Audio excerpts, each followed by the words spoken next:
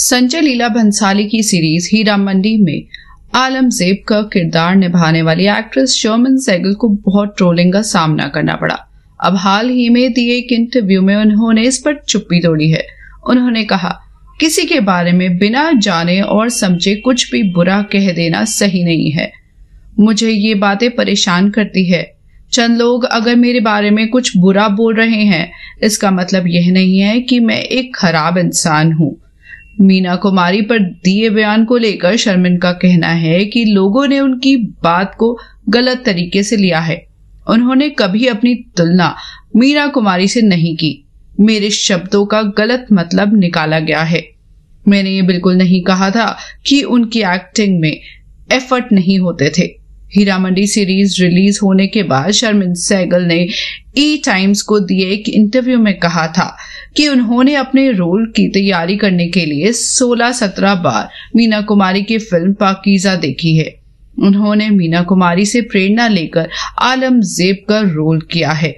संजीदा शेख पर आउटसाइडर वाले कमेंट को लेकर शर्मिन ने कहा, मैं फिर से यही कहूँगी कि मेरी बातों का गलत मतलब समझा गया है।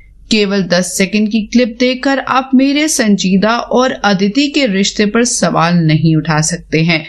एक इंटरव्यू के दौरान संजीदा शेख से पूछा गया था कि संजय लीला भंसाली के साथ काम करना एक एक्सपीरियंस कैसा रहा? संजीदा ने कहा, वो परफेक्शनिस्ट है। वो बहुत ज़्यादा क्रिएटिव है। वो चाहते हैं कि कोई भी सीन साधारण ना दिखे। वो जो भी कहते हैं, वो एक्सेलेंस से कम नहीं है। उनके शानदार क्रिएटिव दिमाग आर्ट के लिए शार्प एडवोकेसी और ईमानदारी के लिए दुनिया भर में उनका सम्मान किया जाता है।